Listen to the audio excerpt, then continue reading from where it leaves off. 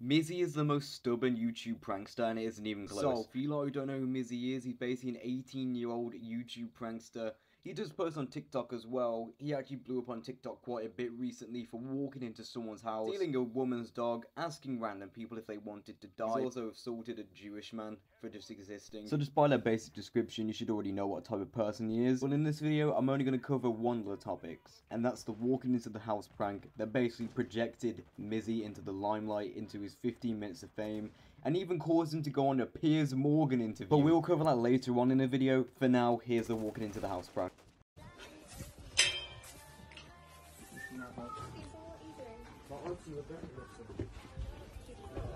James? Come to the front door right now, please. James? James. You man, come. Hello, Um, James. We need to speak to James. James. Huh. Um, Um, that James. is this Right, where the study go. group is? No. No. What door number is this? No. Um, study group.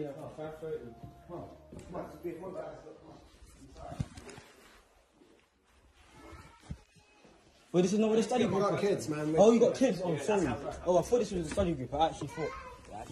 And this is the study group. Pisses me off how they just casually open the gate with no respect for people's privacy whatsoever. On top of that, the wife is clearly scared, shouting for her husband to come to the door. On top of the fact, you can literally see the kids at the bottom of the stairs, and then he proceeds to go into the living room, sit on the guy's sofa, and put his feet upon the table. Like, Where's the fucking respect, man? Come on. I don't get this man's thought process either. He recorded himself doing a crime.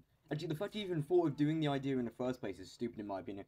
But recording it is a whole nother level of stupid. How are you going to record yourself doing a crime and then posting it to TikTok expecting no repercussions whatsoever? And as stated earlier, this video did go quite viral to the point where the Met Police got involved and issued a search warrant for Mizzy. Cost of living crisis and knife crime? No. Going after a YouTube prankster? Yes! And Mizzy was fined a grand total of £365 and given a two-year criminal behaviour order. And the order actually included that Mizzy must not directly or indirectly post videos onto social media without the documented consent of the people featured in the content. And that he must not trespass into private property, and that he must not visit Westfield Stratford, which I'm assuming where the house video took place.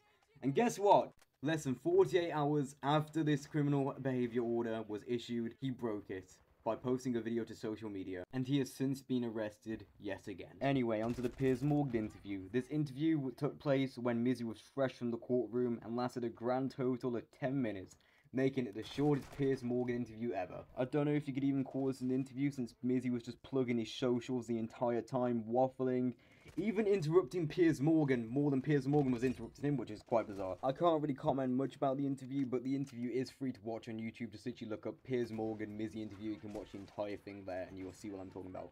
Anyway, like, subscribe. Good night. See ya.